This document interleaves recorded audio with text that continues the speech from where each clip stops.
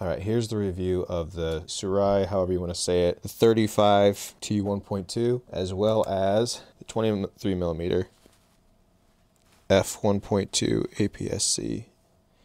The autofocus version is the one in my hand, and then this is the Cine lens that is all manual. So these both suck. I bought them brand new. Let me show you this. This is going to be kind of hard to see. So what you're seeing in there the little tiny metal shavings. There's some right there. And those metal shavings are because uh, these are really cheaply made. The first time I put it on, I thought I was on wrong because when I attached it to the camera, it was grinding, like terrible sound. So I stopped, took it off, and tried again several times. I finally just twisted, and it was like literally fingernails on a chalkboard. It was terrible. And now I'm afraid I damaged my X-T5, which is the camera you were viewing through right now. So listen to this. If I disconnect this, let's see if you can hear it. I'm going to put my microphone right next to the camera. Okay, I don't know if you can hear that, but it is not good. Can you see those? Probably not. There's little tiny metal shavings right there. Those little tiny silver pieces just in front of the electrical connectors are in fact metal shavings because these are not machined properly this right here, these metal rings going around, and that causes it to grind. It sounds terrible. You really have to hear this in person to grasp it, but you can feel it. You can feel it metal on metal, like sharp burrs. The same thing is true for 23 millimeter. This one, the smaller autofocus lens. This does the same thing, so I'm going to set the mic beside this camera, see if you can hear the difference. Listen.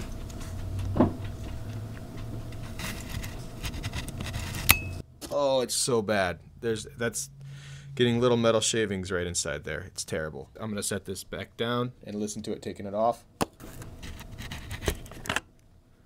Oh. Not sure if you can see this.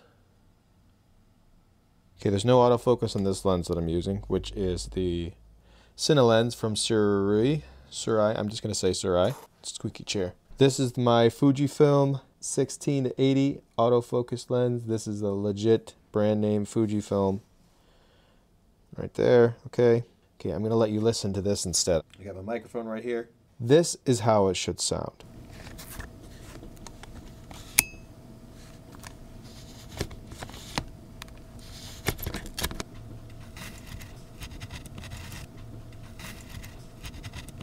I don't know if the mic is going to allow you to hear that well enough. Do not buy these because they scratch this surface and they will they'll make it they'll make it extra play in this so that your nice lenses that do fit properly will not sit flush. This is a warning to anyone trying to buy these lenses.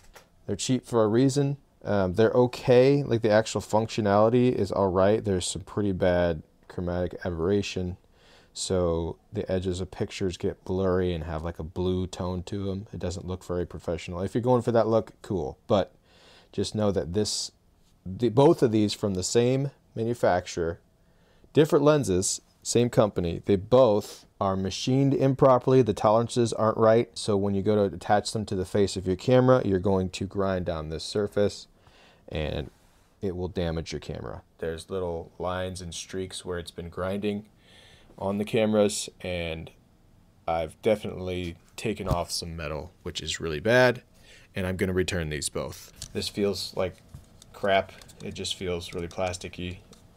This one is a little bit better quality build, the Cinelens, but the throw for this focus is so long.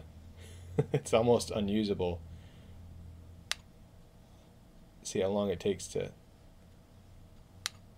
you cannot do this with a steady hand. It is impossible to focus it properly. So I wish they made this just a little bit faster so I could get one full rotation. Be way better. But, but yeah, don't buy these if you don't want your camera's face to be ground down right here from these cheap lenses. So don't use them. Stick with Fuji or, or Viltrox is my recommendation. Good luck.